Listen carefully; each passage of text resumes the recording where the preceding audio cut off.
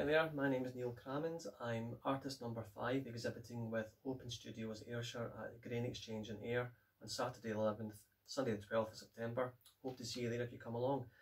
If you do, you're likely to see examples like wildlife art and human portraiture, which is what I specialise in, as well as pet portraits as well. Um, best place to see my artwork, other than hanging up on your wall, once you've commissioned me to do something is on my Facebook page, Art by Neil. Or if you go along to Open Studios Ayrshire website, you'll see me featured in their website as well. A fun fact about myself, up to about three or four years ago, I couldn't draw human portraits.